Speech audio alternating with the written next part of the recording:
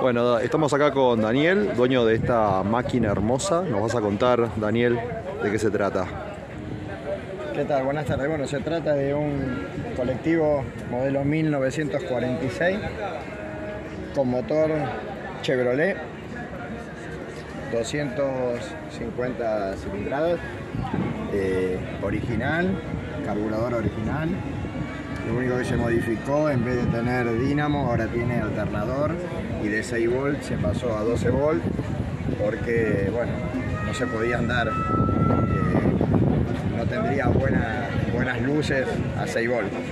Así que está dentro de todo lo que se pudo mantener original, eh, piso de madera, eh, suspensión con elásticos, como se usaba antiguamente, apertura de puertas manuales. Eh, bueno, básicamente, básicamente eso, freno a cinta en las cuatro, digamos en las cuatro ruedas. Así que. Una joyita. Sí, sí, bastante, bastante conservado por los años que tiene, ¿no? Hablamos de un modelo 1946.